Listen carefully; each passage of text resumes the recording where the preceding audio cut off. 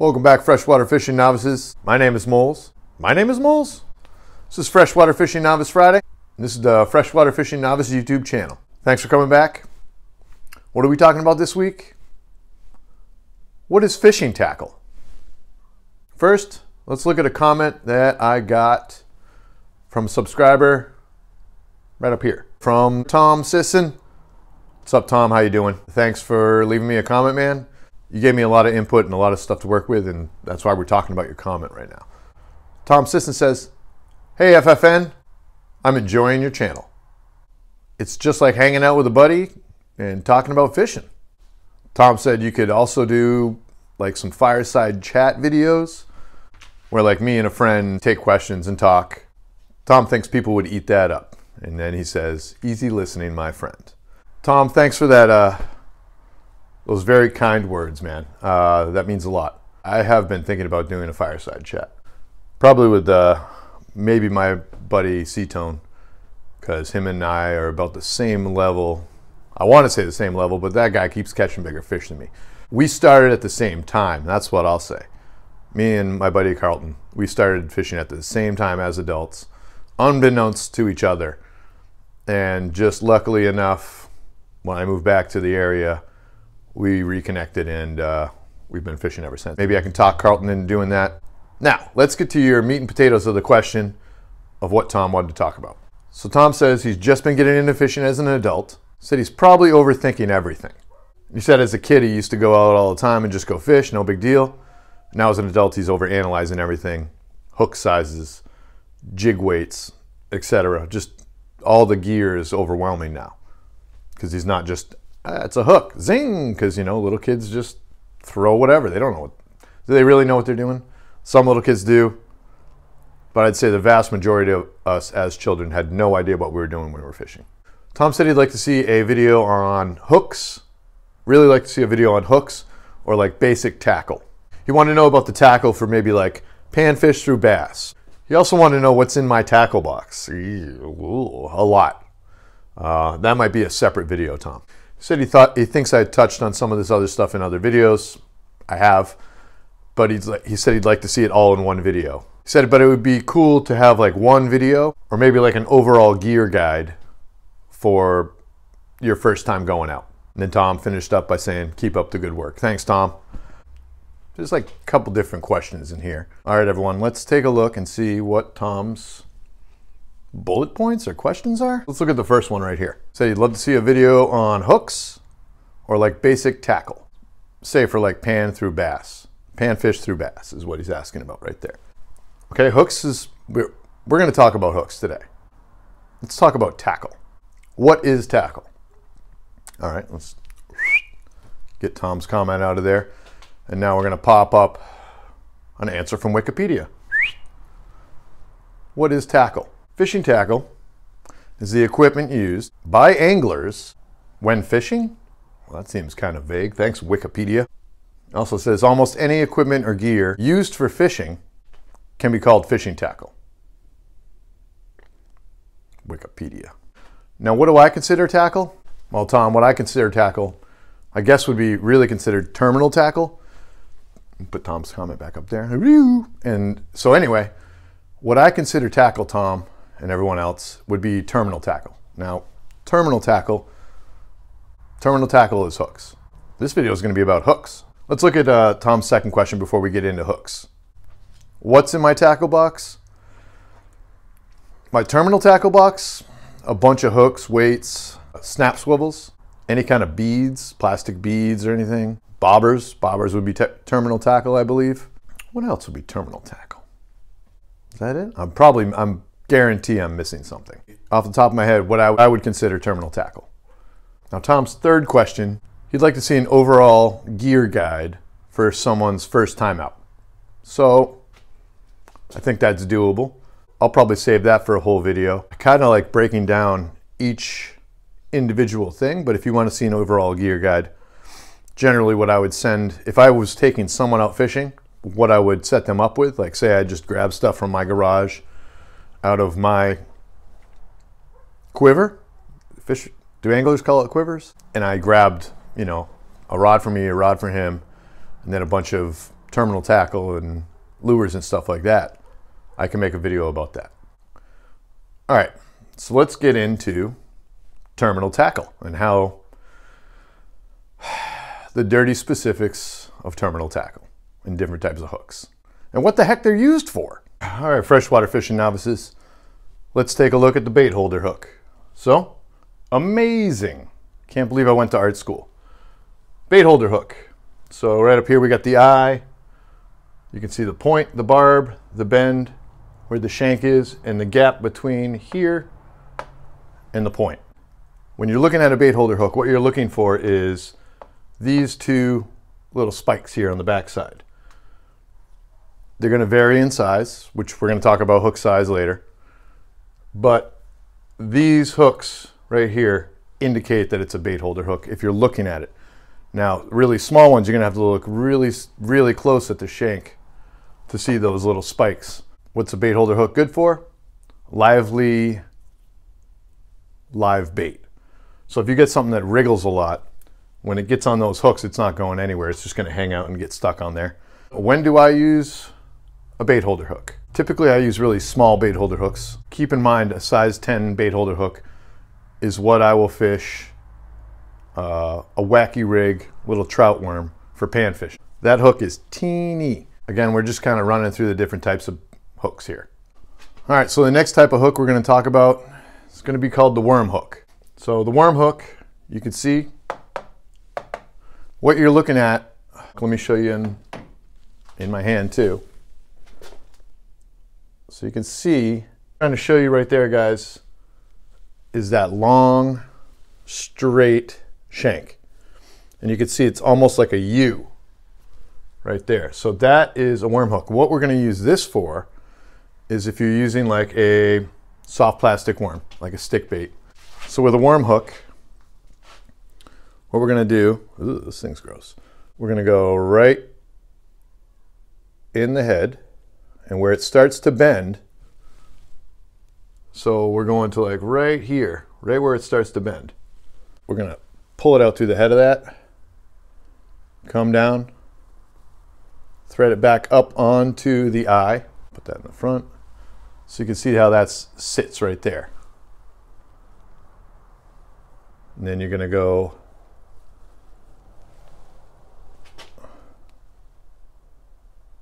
go differences between this and a wide gap hook, you're going to go through at an angle. And then you expose that. So you can see that's how the worm hook works out. The worm hook. And you're going to use this hook for like bass, and we'll go over the sizes and stuff that you should be looking at. That's a worm hook. So the next hook is going to be the circle hook. Important points to check out on the circle hook is that tip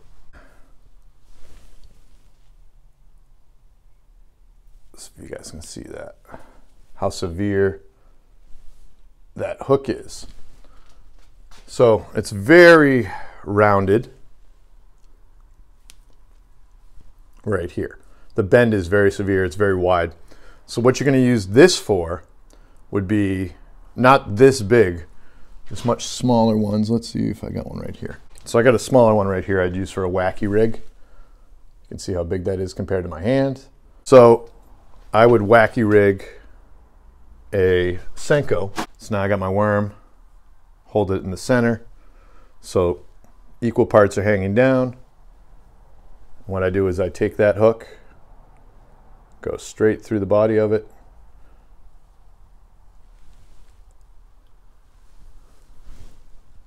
and that's how I wacky rig a Senko or a stick bait. So it's got that action falling through the water. Why would you use a circle hook when you could use a worm hook? So a circle hook's good because the way this is, this bend and this point go, when the fish sucks it in and you just have to reel up, you don't have to set the hook. With a worm hook, you got to really jam into it. With the circle hook, you just kind of reel up and pull your rod back. You just kind of right up to 12 o'clock as you're reeling. So you reel in and then you just keep reeling up and pull your rod back. And what this hook is going to do is if it's in its mouth, the fish's mouth, it's going to pull it out. But when this hit this little tip of the circle hook hits that corner of the fish's mouth, it's going to penetrate. And you're going to almost always get a hook set on the side of the mouth as opposed to gut hooking it. So there's certain hooks that get too deep, they're too long or whatever. With a, worm hook, sometimes that can happen if you're not quick and on your on the bite. So a circle hook's good for beginners, so you are really hooking them in the mouth. The problem is it's not weedless, but they do make weedless ones. So that's the circle hook. Next hook is the extra wide gap hook, or EWG. So this hook kind of looks like the worm hook, but you can see it bends out more, almost like the circle hook, right? So what this does is it gives it more, you're gonna rig it, well, let's talk about how you rig it. So you got your worm again, you got your extra wide gap hook. What you're gonna go do is go through the nose, or the head of it, head of the worm, right to the bend, right to that point right there. And you're going to come back through the soft plastic. Going to thread it up over the eye, just so this part is totally filled up with the worm.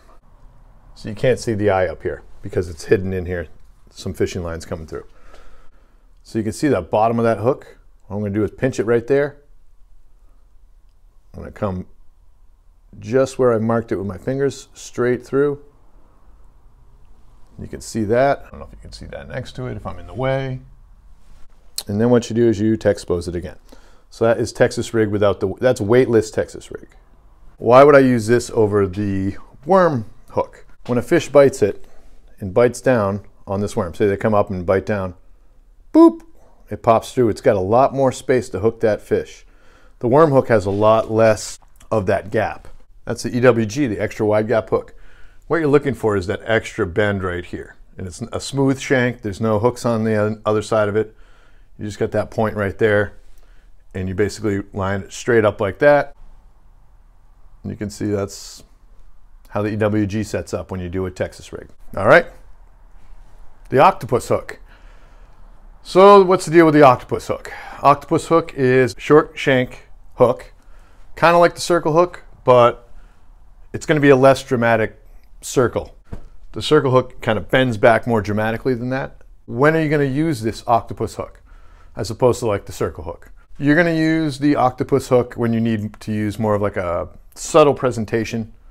Um, yeah, if you need to be more subtle, instead of the circle hook, use the octopus hook. I mean, you use live bait on this guy too. So leeches or something like that, if you needed a more subtle presentation. The octopus hook is a little less aggressive than the, the circle hook, but it does the same thing. It hooks the fish in the side of the mouth. So the Aberdeen hook. This is uh, probably one of the most common hooks you'll see in the bait shop, mainly because you use them for like panfish and brim and small, small fish, crappie and stuff like that. Usually they're smaller sizes too. This gap right here between the point and the shaft it's a little bit wider. You can put, they're good for threading like a minnow, if you want to fish a minnow in the water or if you're doing some pan fishing. The Aberdeen hook's good, but I prefer to use like a really small bait uh, holder hook. I also use those forceps to get those little hooks off. So this might, this Aberdeen hook, if you're not using forceps, is probably easier to get out of a panfish's mouth. So take that into account when you go out. All right, freshwater fishing novices, I'm probably going to butcher the how you say this, but uh, kale hook, kahale, kale. Anyway, this dumb hook. It's this hook is somewhere between a J hook and a circle hook. Now, why would you use this? Well, like the circle hook, this is going to be for live bait. Um, but this is a much per, much more pronounced, and the hook goes back at the eye, as opposed to the circle hook, which just kind of makes a circle. I've never used one of these hooks because I just use a circle hook or a bait holder hook. And I feel like that's good enough. Do you need the kahale, kahale, kale? That's not how you say kale. Hook? I don't think so. But at least you know what the heck it is now. All right, so What the heck is this hook? Siwash? Siwish? I'm wicked good at pronunciation. What's the deal with this hook? And how is it different from like a J hook or any other hook? Well, the eye hole is going to be facing this way as opposed to being turned that way on a hook. If you want to replace like say treble hooks because you have a, a, limit on the hook points that you can have on a lure, you can change out your treble hooks for a Siwash hook. But that's generally, I guess, what you're going to use them for. I've personally never used them because I just go with the treble hook, which we're going to go look at right now. Last but not least, the treble hook. And I mean, there's more hooks than I'm going through right now, but this is the last one I'm going to touch on because I feel like this video is already going long. The treble hook. Now, where's the treble hook? Typically, a treble hook's already going to be on a lure. Inline spinners. A treble hook's got three different points, three different points of contact to get in the fish's mouth. Uh, it's not like it's similar to setting a circle hook where you're just going to reel up. And I don't know what else to say about the treble hook. Watch out when you take them out of the fish's mouth because those things can end up in you pretty quick. And then you got more than one hook in you. So that's what the treble hook looks like. Right up here we got jigs. Most of the time, if you hear bass guys talking, bass fishermen, anglers, talking about jigs, they're gonna be talking about these skirted jigs. So there's a few different types. I'm sure there's more than I'm listing right now, but I just grabbed a couple out of my tackle box. So the one on the left is gonna be a ball head jig. The one just to the right of the ball head jig is gonna be a football jig. And just to the right of that is gonna be a swim jig. And then to the right of that is gonna be a heavy cover slash flipping jig. What I want you guys to pay attention to is the width of the head. If you look at them, you see the ball head jig's kind of wide. The football head jig is mega wide. And the swim jig and the heavy cover flipping jig, they're pretty similar in width. And I've used a swim jig to flip into cover. So really what you're looking at when you're looking at a skirted jig like this is going to be one, the weight, two, the shape of the head, be able to determine what you're going to do with it. So with that heavy flipping, heavy cover flipping jig on the right, I could still use it as a swim jig and put like a uh, soft body on the back of that like uh, swim jig or heavy cover. You could use a soft body plastic paddle tail and work it on the back and you know swim it through the water column, low, high, wherever you want to fish it. Depends on the weight of the jig. Really, with a jig, the heavier the weight, the faster it's going to sink. The deeper you're going to be able to fish it. If it's lighter, you're going to be fishing it higher up in the water column. But for bass fishing, for the big skirted jigs, I just barely got into it like this year. I mean, I tossed a couple last year in really deep water. So let's talk about those jigs and what they're good for. So swim jig and the heavy cover flipping jig, obviously you're going to be able to swim one or swim both really because I just talked about that. Or you could flip it into like pads or grass or anything like that. But the trailer is an important thing. So on the back of like a flipping, if I'm going in a heavy cover, I'm going to be using more of a kind of like a creature dangly. I want some action as it's following through the water. So you're going to use like a craw tail or something like that, soft plastic, because it's just going to fall and you want those little kickers working and when they get down there, the bass should just grab it with that jig. With a swim jig, you're gonna want to put like a paddle tail on it or something like that because you're gonna be swimming it. So you want there to be a secondary action as opposed to the skirt that's puffing up as you're swimming it. And you can, I mean, you can jig it off the bottom. That's what jigs are all about is getting down deep. So now with the ball head jig and the football head jig, what would I do with those? I would put a craw body on the back or like a creature bait you know, with kickers. And what you're going to do, football head jig's great in rocks because it doesn't really get lodged in. So the football head jig is all wide, so it's just to tonk. You can kind of drag it over things. The ball head jigs are similar. I use it similar, but on like smaller gear because it's a lighter little jig. I, I hope I hope that helped out with uh, traditional bass jigs. Now let's look at some different jigs that are significantly smaller than these large skirted bass jigs. So what are some other type of smaller jigs? So I got like a little diagram over here. So let's take a closer look at that. We're gonna zoom in. So at the top you can see I got a tube jig. Right underneath that I have a, a swim bait jig head. I don't know what the heck's underneath that. It's kind of like a Ned rig, but it's rounded. And you can see where the eye is on each lure.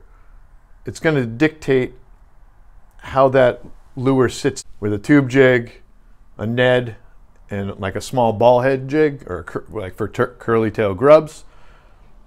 It's going to be more of a, a hopping action. That swim bait is going to be coming horizontally through the water column. So you're going to be putting like a soft body paddle tail on there as well. These guys you're going to use more of, like the tube jig has its own little tube body. So I've already talked about those. Those are great for panfish. Swim bait, great for a lot of bass. It just depends on the size. So if you want smaller, if you want to catch smaller fish like panfish, you can go down to a smaller swim bait head. And Ned rigs are pretty teeny already, but you can catch huge fish on them. But the hooks are small enough that you can catch a small fish as well. Same with the ball head jig. Those are pretty teeny. The tube and the ball head are probably the two smallest, like panfish, crappie, smaller fish, you're going to use those guys. As you move up, you're going to go to a swim bait and a Ned. And then if you want to go up further than that to bigger fish uh, and bigger gear, you're going to go to those traditional uh, skirted bass jigs. The side of these jigs and the side of those grass, those skirted bass jigs that I showed you a picture of, we also got this little guy. You can see his little tail's working, but this is called the Dark Sleeper. I'm not doing any endorsement of the company, but you can see it's got a hidden hook right there, but it's got all this weight right here. So when you fish this, it's deedly deedly deedly dee down through the water column, and you're going to do the same thing. You fish it the same way as a jig, and, but it's hyper realistic and looks like a, a little goby. What's a goby? Not something I got where I am, but for some reason the fish love these guys. And if you want to fish a jig that is pretty weedless, that dark sleeper is going to be the one. What else were we going to talk about? We talked about the different types of hooks. What the heck was the other thing I was going to talk about? Hook sizes. That's what we were going to talk about. So how how do you know what size hook to get? The way hooks are sized is kind of funky. So let's take a look at that. All right. So this very rudimentary drawn chart by yours truly is supposed to make it very simple. What you're going to hear is you'll hear 1 aught, 2 aught, 3 aught, 4 aught. What the aught is that you're hearing is that slash and the zero. So you'll see 1 aught, 2 aught, 3 aught, 4 aught, 5 aught, and so on. It keeps going up. But that's going to determine the size. Now, the smallest size of an aught hook would be a 1 aught. 2 aught is the next up. 3 aught going that way would get bigger. If you go in the other direction, say you see a size 1, no aught. That's going to be the biggest one going in this direction. So 1, 2, 3, 4, 5, 6, 7, and keep going, those hooks are going to progressively get smaller. For fishing for panfish, that's a size 10 bait holder hook. So that is way over here and it's super small. I mean, small as my fingernail, right?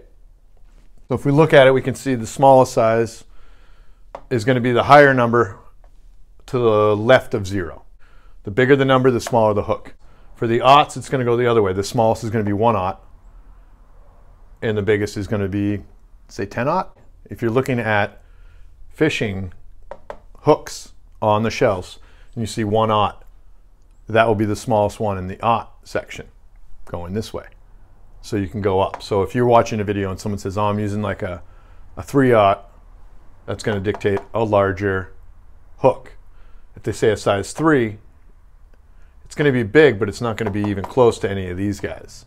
So these are the regular size hooks, 1 through 12 size, I would say are panfish to crappie to perch, stuff like that. And when you get to bigger fish, bass, smallmouth, all this stuff, you're going to be in the aught section. So you can think about that when you go buy your gear. What am I fishing for? Am I fishing for panfish? I should be looking for like a size five or smaller for the hook. Am I going for bass? I'm going to go typically what I fish one to five aught. Five aught's huge for me. I usually go three. As the wire is going to be thicker on these bigger hooks. So wire is going to be thicker on the one as opposed to on a size 10 hook. I hope this chart kind of helped out, guys. I know seeing a chart like this helped me a little bit, so I figured I'd recreate that for you guys to see and just take in mentally. So when you're looking at hooks, you kind of have a better idea what you're looking for. All right, freshwater fishing novices. I hope this video was helpful. Just kind of breaking down what the hooks are, what they do, what you can use them for. And hopefully the size, that size chart helped. I mean, when I found that thing, whew, that helped me a lot. Especially when I was in the, in the store trying to buy hooks and stuff like that. But now, hopefully when you're watching other YouTubers or other fishing content, you'll be able to understand a little bit better what size hooks they're talking about. You know, you know, six aught, big. Size 10, small. I want to thank you guys for watching this week. Current amount of subscribers I got right now, guys, 223. Hoping to get to uh, 250 by the end of the year. Go ahead and hit that subscribe button. Help my channel out, help it grow. Let someone else know who's trying to figure out what what's tackle or what hooks do what. Go ahead and like and share this video with people that might be trying to learn how to learn a little bit more about hooks or tackle in general. If you guys like this video, go ahead and hit that, that like button. Let me know that you like this video. If you're like Tom or any one of my uh, other subscribers who have asked me questions, do you have questions? Leave them in the comments. Pretty likely to reply to your uh, comments. I try to reply to everyone's comments. If you actually leave me a bunch of information, I'm going to or a bunch of questions in your comments, I'm going to reply to those. And a pretty good possibility I'll make a video of it. So if you have any comments, go ahead and leave those down below. If you have questions about anything, hooks, lures, bait, maybe not bait, rods, reels, lines, techniques, anything you guys have questions about, leave it in the comments. I want to thank Tom Sis, and Tom, thank you for uh, commenting and leaving me questions. It was uh, very helpful. I'm probably going to end up making two or three videos out of your comment. So stay tuned and see which one I'm making next. If it's going to be a general gear guide for first time people going out fishing, or if it's going to be what's in my tackle box, you guys are going to have to stay tuned to find out. Thanks for watching the Freshwater Fishing Novice YouTube channel. My name is Moles. It's been Freshwater Fishing Novice Friday, and I'm the Freshwater Fishing Novice. Thanks for watching this week. Thanks for subscribing, liking, commenting, liking, and sharing, and for commenting. Hope you guys have a great weekend. I'll catch you next week.